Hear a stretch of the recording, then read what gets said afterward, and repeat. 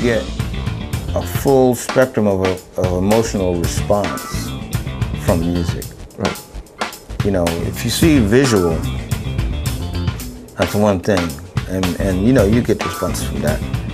If you read print, you know it, it conjures up pictures and um, ideals, and if you see paintings, you know, gives you. But music, another thing. I mean, like it's audio, and it gives you all of these, just a full spectrum of emotions you get from actual notes.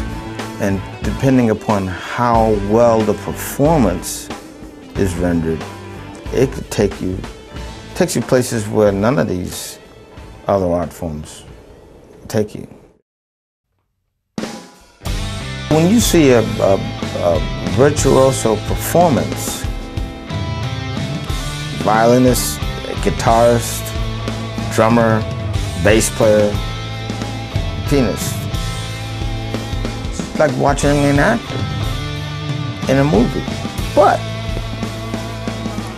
he's speaking, the actor's speaking words and you see visual.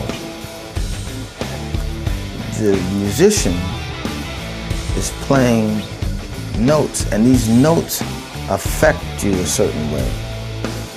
And how he renders the notes take that effect even to a different level. It's like music is, I mean, and then you can be affected without seeing any musician, but just hearing a performance, you know, on this new CD. I went back to what um, we were doing back in the 70s. Really? Um, I think it was that I just tried to capture what what made me feel good back then. I haven't put out a personal musical statement in 10 years. It's raw and man, it, we had a ball. It was really fun doing it. I mean, it's, it's great. I'm looking forward to it.